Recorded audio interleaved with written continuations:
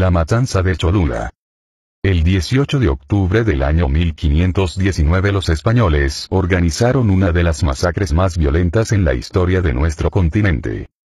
Ocurrió en la antigua ciudad sagrada de Toyamcholoyam Cholula en el actual estado de Puebla en México. De acuerdo a los cronistas y del propio Hernán Cortés, se trató de una acción preventiva por la sospecha de una posible emboscada dentro de la ciudad de Cholula que fue informada a los españoles por Doña Marina o mejor conocida como la Malinche. El resultado fue el asesinato de 6.000 o 7.000 cholultecas, en su mayoría civiles desarmados que incluía ancianos, peregrinos, mujeres y niños quienes celebraban ese día una de sus fiestas. La ciudad fue saqueada y destruida por los invasores españoles y sus confundidos aliados indígenas.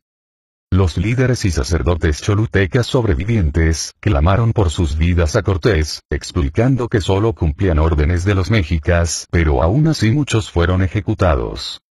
Cortés al ver semejante carnicería decidió ordenar el fin de la masacre y logró someter a la ciudad que más tarde sería destruida para construir con sus piedras iglesias católicas y una ciudad colonial.